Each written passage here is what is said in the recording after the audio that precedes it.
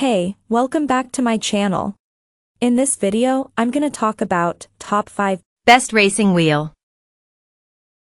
starting at number 5. Logitech G29.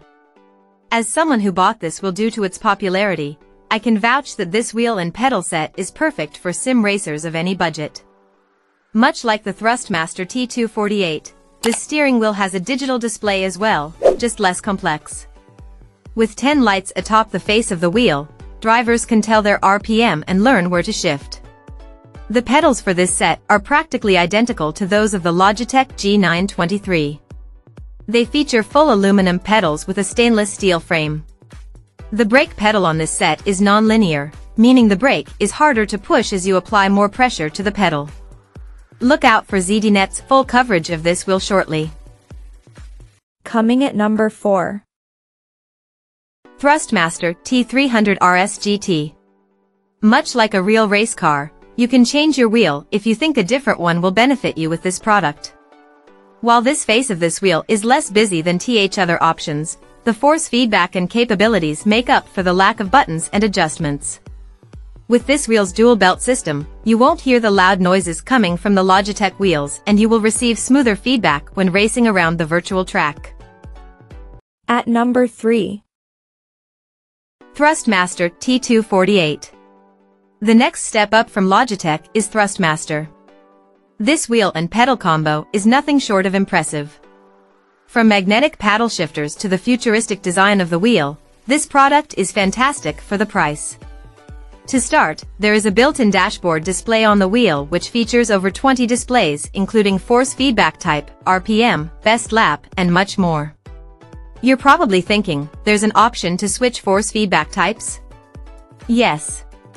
There are three force feedback presets on the wheel and adjustable based on user preference. Lastly, the magnetic pedal set allows racers to adjust their brake pedal with four different brake pressure modes. Number 2 of my list. Logitech G923.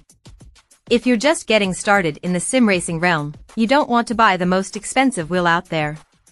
The Logitech G923, essentially the more advanced version of the Logitech G29, is just under $400 and a great option for beginners. Also included with the wheel is a three-pedal set with a progressive brake pedal. With most Fanatec and Thrustmaster wheels, pedals are not included. We get it, sim racing can be expensive, but with the durability and reliability Logitech has instilled in their products, this wheel will enjoy a long life.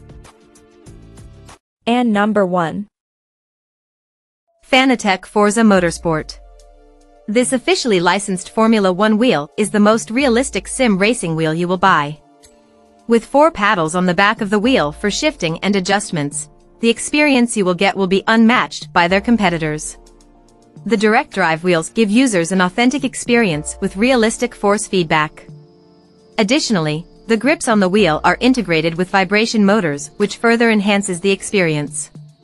Lastly, this wheel contains wireless QR technology meaning the detachable wheel doesn't need additional wires between the wheelbase and the steering wheel. If you're willing to fork up the extra money, this wheel is worth every penny. Check out this video description for latest price and more informations. Thank you for watching this video. Please subscribe and stay tuned.